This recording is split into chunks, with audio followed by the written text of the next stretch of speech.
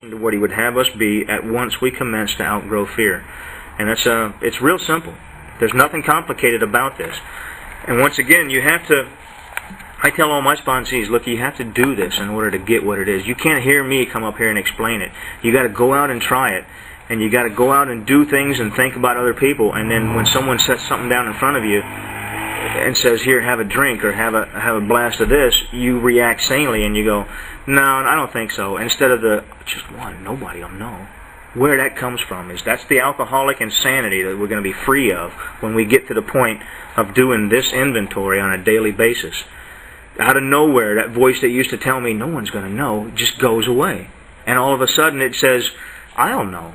And God will know. And I don't want it. No thanks. And then like an hour later, I look back on it and I go, wow, what happened? How did I get out of there? I have no idea.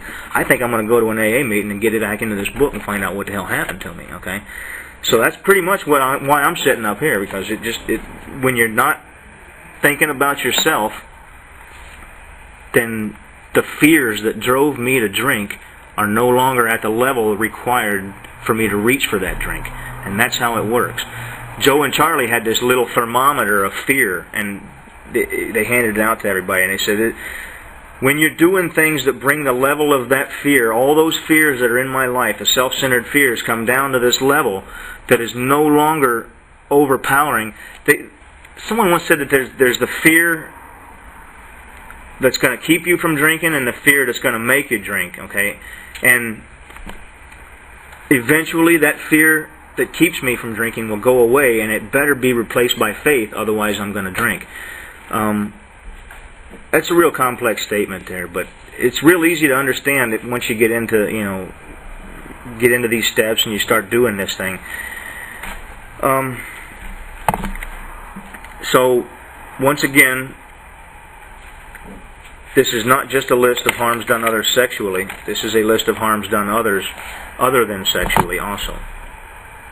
And the questions to answer are where had I been selfish and dishonest? And that's where I'm going to find what is outlined in the 10th and the 11th step. You know, I took you out to the 10th step and showed you that, but I didn't take you to the 11th step because it says the same four things resentment, fear, selfishness, and dishonesty. Those four things, the four common manifestations of self. Step 11, where it says this, is on page 86, right after step 10, of course. Right at the top, right there, they're telling us to do our inventory every day which is something that I had heard out of the corner of my ear one time. I heard somebody say that the 11th step inventory, and I go, uh oh, now there's another one. Uh, I heard about the fourth step inventory and then the tenth step inventory, and now somebody's bringing up this eleventh step. I never, I think it took me a couple of years before that even registered. But right here is the eleventh step inventory, right in the beginning here. 86, when we retire at night, which is what I was told was the directions for when to do this.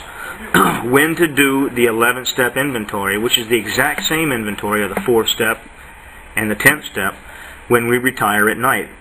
I even have 11 p.m., which I believe Joe and Charlie said. One of them whispered out at 11 p.m. Like we're supposed to be going to bed by 11, you know. Um, when we retire at night, we constructively review our day. We're we resentful, selfish, dishonest, or afraid? Do we owe an apology? 8 and 9. That was step 4. Were we resentful, selfish, dishonest, or afraid? Do we owe an apology? 8 and 9. Have we kept something to ourselves which should be discussed with another person? Step 5. So in step 11, they're also telling us that there's really only four things we need to worry about. These are, you know, I heard somebody say this too. I heard somebody say, there may very well be hundreds of defects of character, as you've heard in meetings. I've heard it too. I've, oh, I've got hundreds of defects of character, and I go, "Geez, man, you really must have a problem." I mean, I'm only worried about these four. But what someone said was, that's right. We may have hundreds of defects of character, but we're only concerned with these four biggest ones. Okay, these are the biggies. Okay, these, and you can almost lump any one, the majority of those hundreds, maybe not all of them, but the majority of those hundreds of defects of character may very well fall into one of these four categories: resentful, selfish, dishonest, or afraid. One of those four categories is where all them defects will fall into. So we're only looking for four, and this list finds the two of them. Okay, this is the harms done others sexually and the harms done others list. We're going to answer these questions to find where had we been selfish and dishonest, or inconsiderate? Whom had we hurt? The names of the people for the eight-step list. Did we unjustifiably arouse jealousy, suspicion, or bitterness? Where were we at fault? We, what should we have done instead? That's a good one. That's probably one of the hardest ones for me to come up with. I, if I had known what I should have done instead, I probably would have done it anyway. You know, I probably would have done it. Well, we got this all down on paper and looked at it. That's the third time in the fourth step it says we got it all down on paper and looked at it. Once was the resentment list, once was the fears list, and once is this, the harms done others, and the harms done others sexual list. Now remember what it said about resentments. It said, For when harboring such feelings, this is on 66 in the middle of the page there, part of the the prelude to how to be free of resentments. It says, For when harboring such feelings, we shut ourselves off from the sunlight of the Spirit, the insanity of alcohol returns, and we drink again, and with us to drink is to die. Once again, there's something that's keeping us from blocking, there's something that's blocking us from doing God's will. This is the list to find what it is that's blocking us from doing God's will. And in this list of selfishness and dishonesty is not really what's blocking us from doing God's will. It's not what we're trying to be free of. I mean, we're not going to go out and say, well, I'm going to stop being selfish and stop being dishonest. What we're going to do is we're going to make amends for these harms done others. Okay?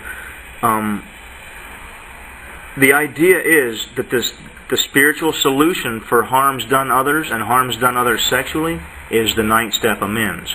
You have to go all the way out to the ninth step, which is really right around the corner. All the other all them other steps are on like one page, well, except for five. Five is like five is about four pages long, I think it is. But six, seven, eight, and nine are basically on one page. And that's how simple they really are. Because step six is speaking in a past tense, something you've already done, and step eight is speaking in a past tense. They're just acknowledging something that you've already done. When you get to step six, it says we're entirely ready to have God remove all these defects of character. And I heard somebody say, "This is the step that separates the boys from the men." And I, when I when they said that, I go, "Okay, um, so what does that mean?" And then I heard somebody say, that's not what that means. I don't know who, I don't know where they came up with that crap, but this is what step six means. It's so simple. It says, as a result of the first five steps, we were entirely ready to have God remove these defects of character. What defects of character? Resentment, fear, selfishness, dishonesty. And once again, I, I don't remember who it was. I think it was Joe and Charlie that said that he's speaking of the same thing in every one of those steps. I used to look at him when I was new in sobriety, and I thought, oh my God, it just keeps getting bigger and bigger the further you go on down. This is a monster, this sobriety thing. It's just too much. And then I looked at it, and somebody said, no, in step four, he's saying you make an inventory of those four things. In step five, he says you told somebody about those four things. In step six, it says you're entirely ready to have God remove those four things. In step seven, it says you humbly asked Him to remove those four things. It's, it's, it's the simplest thing in the world. Yet I was in meetings.